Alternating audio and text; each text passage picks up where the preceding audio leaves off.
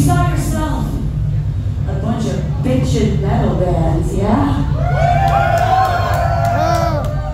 But you're wondering, who the fuck we are?